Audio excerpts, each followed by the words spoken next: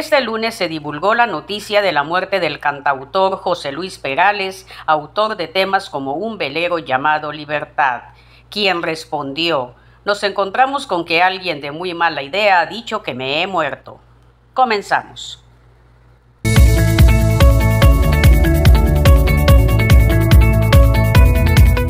Este lunes, mientras el cantautor español José Luis Perales cenaba en un restaurante con sus hijos y esposa, encontraron de postre que los medios de comunicación alrededor del mundo lo estaban dando por muerto.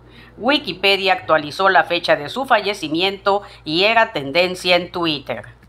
Diversos portales mexicanos y medios televisivos como Foro TV y El Heraldo, además de otros sitios de América Latina, lanzaron como noticia de último momento la supuesta muerte del músico, aunque no estaba claro de dónde surgió la información. Incluso se divulgó que había sido por un infarto al miocardio.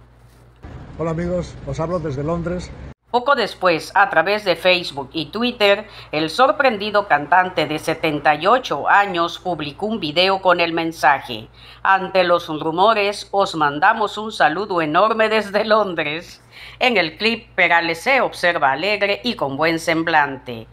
Os hablo desde Londres, un sitio maravilloso, precioso, donde he pasado unos días con mis hijos y con mi mujer. Ya estamos a punto de marcharnos. Pero de repente nos encontramos con que alguien de muy mala idea ha dicho que me he muerto. La verdad es que estoy más vivo que nunca. Y la verdad que estoy más vivo que nunca, más feliz que nunca y que mañana ya nos vamos a estar. Gracias a todos los que han intentado ver si era verdad esta cosa. Que estamos muy bien, se acabó. Yo le.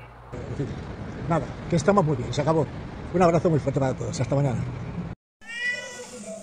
Oh, pues con la grandiosa noticia de que el cantautor, poeta maravilloso José Luis Perales sigue, como decimos en México, vivito y coleando.